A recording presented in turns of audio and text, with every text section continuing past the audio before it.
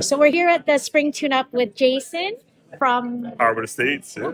Uh, can you please share what your experience of using Nurture Growth this year? Yeah. So uh, we've been using Nurture Growth now for two years um, in our Pinot Gris, especially.